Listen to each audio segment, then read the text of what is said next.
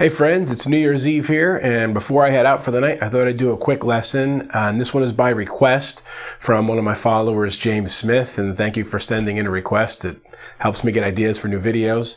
And what he asked was if I could do a video on how to play a galloping rhythm. So let's get to it.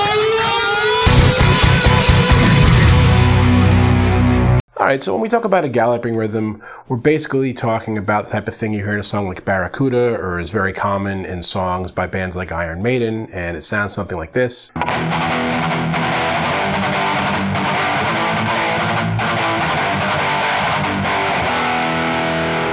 Now you can do a lot of things with that other than just a basic gallop, but let's first take a look at what makes up the core of it and then we'll talk about variations. So if you break this down at its core, it starts with a simple accented downstroke and then a triplet, which is down, up, down. So accent and then down, up, down. Now, usually when someone plays this in a rhythm, they have a bunch of those uh, triplet down, up, down parts, and then an accented part. So it'll be like the accent and then.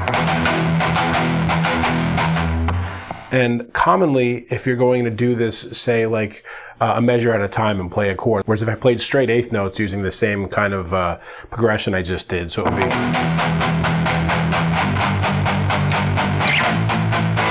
Right, so as a gallop, you're going to get to a point right before you switch chords at the end of the measure where that last triplet is only two. So you have the accent, then you have the one, two, three, one, two, three, right? So right before you switch, that last dun dun dun is just a dun dun, if you want to call it that. So it's an accent, and then three of the triplets, and then one of the just doubles. So it's an accent, three triplets, one double, and then start again on the next chord with an accent. So.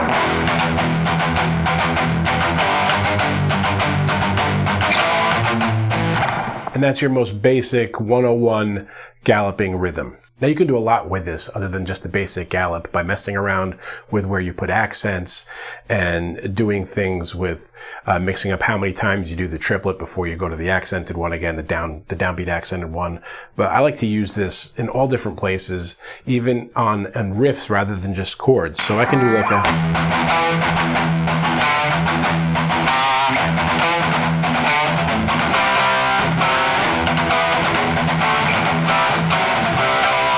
It's a very useful or like multi-usable type of rhythm, I guess you could say. There are a lot of things that are galloping adjacent. And that was one of them. I can even use them in leads to connect parts. So if I'm playing here, maybe up in the pentatonic area, and I want to get down to say over here somewhere in the Ionian, I might put it together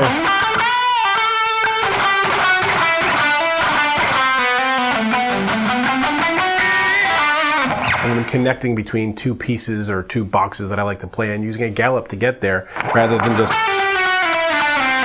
you know, it's just more interesting and more exciting. And you can make parts that are melodic and also rhythmic at the same time with it.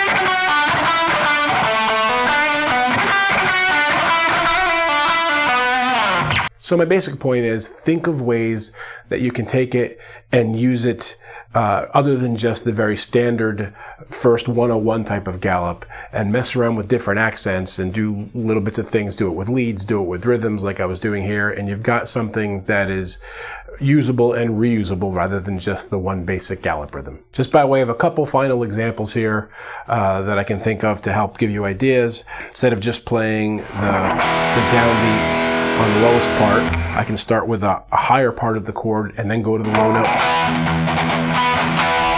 Adding a double hit in there.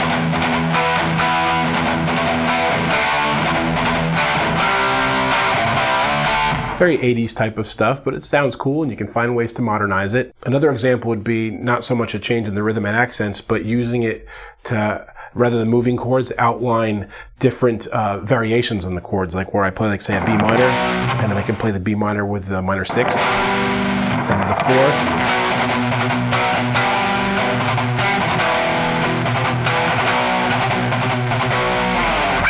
But at its core, it always comes back to the downstroke followed by the triplet. So I hope that gives you some ideas. I kind of floated around a little bit there and just did different things to, to show you where we could go with it. Um, if you want to see like maybe a more detailed lesson on five variations on the galloping rhythm, I can do something a little bit more specific and break it down, uh, more granularly for you. That's a tough word to say, granularly. But this was just the basic primer on a galloping rhythm and a few examples. Uh, I uh, hope I answered your question, James. And for anybody else who's looking at uh, what a galloping rhythm is, and if you have any other questions or comments, please leave them below. Uh, as you can tell, I'm happy to answer them. And until next time, guys, keep making great music. Hey friends, don't forget to subscribe and turn on notifications. It makes the whole world better.